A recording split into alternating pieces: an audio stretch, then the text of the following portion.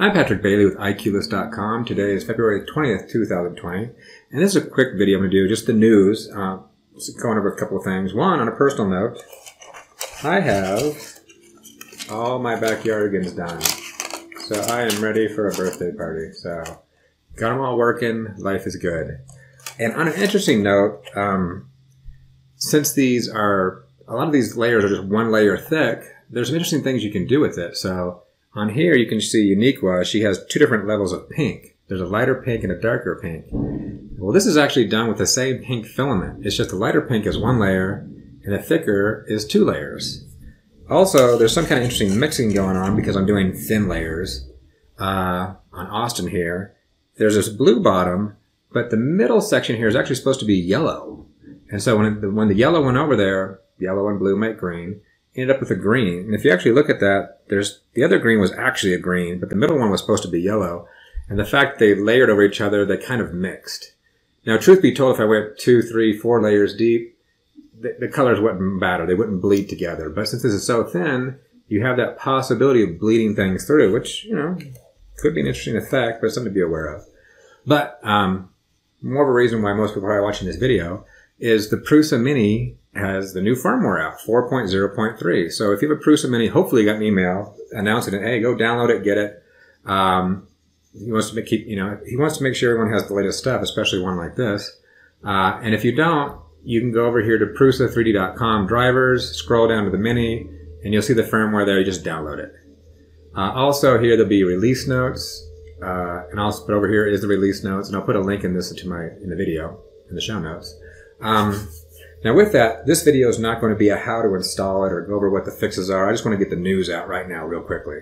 Um, but if you need to install it, it should be an easy procedure. I haven't done it yet, but I think this the fact is, I think all you need to do is just download onto the thumb drive, put the thumb drive in, shut the machine off, turn it back on, and the first thing it'll, it'll notice that there's a new uh, firmware and ask you if you want to install it. I think that's the procedure, but don't quote me on that today.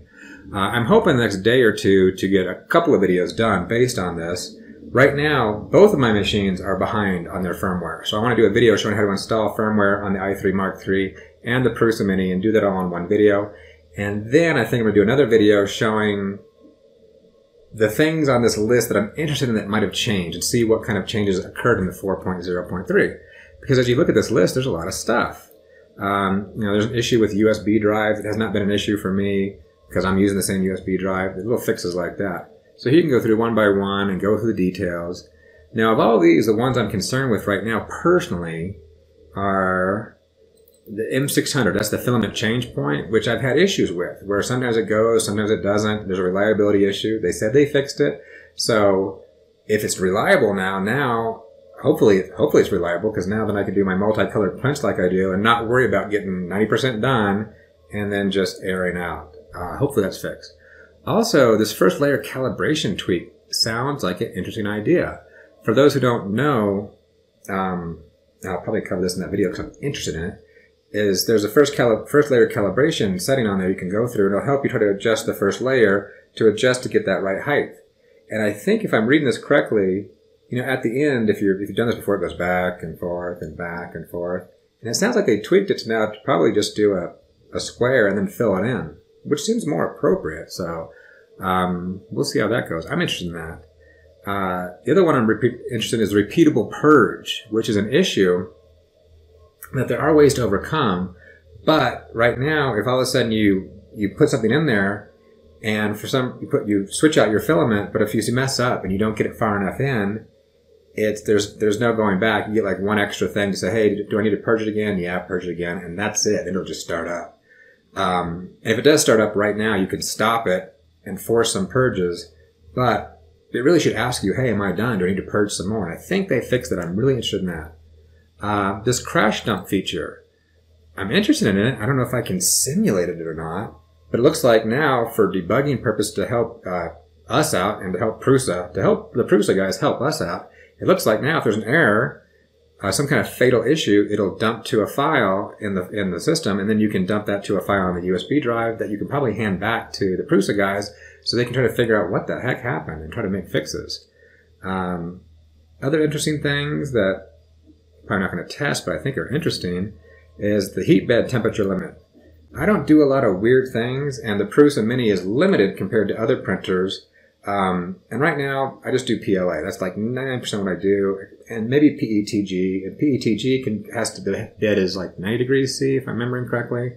But it looks like uh, there was a problem where it could go higher, so now they're limited to 100 degrees C. So for me, that's a good safety thing because uh, the Prusa Mini, I'm okay with it being limited. If I can do PETG and PLA, that's great for beginners and gives you a lot of room to do a lot of things. Anything hotter or higher, um, I don't even know I've never done anything over 90 degrees C, so I don't know what materials require anything higher. Uh, but another thing to note, that's not an issue for me, but it's interesting to note. There's some Ethernet issues on there. In the long run, I'm really interested in what I can do with the Ethernet on this, like plugging this in and having it networked and doing something like uh, Octopi or or something similar that Prusa might come up with where I can control and talk to my printers uh, more interactively, but with web pages or something. Um, but what they've done is whatever's going on, and I'm not using it all right now, whatever's going on, they said, hey, for this version, we're just turning Ethernet off. So if Ethernet's have, if you need, you're using Ethernet, don't bother upgrading this one because they are just turning it off so until they work on it, and I'm sure they'll bring it back in the next version to the version after that. Right now, I'm not using it, so I'm okay with that personally. Um, but I am looking forward to what kind of possibilities that can present because really I'm hoping, I'm not sure, but I, since we have more CPU power, I'm thinking this might be able to run its own mini web server. And it would be nice uh, to log in locally from my machine, get some kind of rudimentary web interface that's actually directly on that and tell it to print or get some updates. I don't know. I don't know what the possibilities are. So, um, I don't even know what Prusa is planning. But that Ethernet thing is, I think, could be really cool in the future. But anyway, quick news 4.03, download it, update it, uh, or if you're cautious, which is a good thing to be, um, give it a few days. Wait, you know, I'm going to put a video out. I'll be testing it. Other people will be testing it. Um, but they've been doing tests, so I'm not. Eh, I wouldn't be too worried about updating this. But hey, if you're cautious, it's always better to be cautious. Give it a few days. Go on the forums, see if anyone else has complained about anything before you update it. But also, if you do update it, you can always roll it back. You should be able to roll it back. Hmm. Can you roll it back? I know it's easy enough to roll it back on the Prusa i3 Mark III, but how do you roll it back on the Prusa Mini? I have to think about that. Anyway, um, that's enough news for today. Hey, if you liked the video, give it a thumbs up.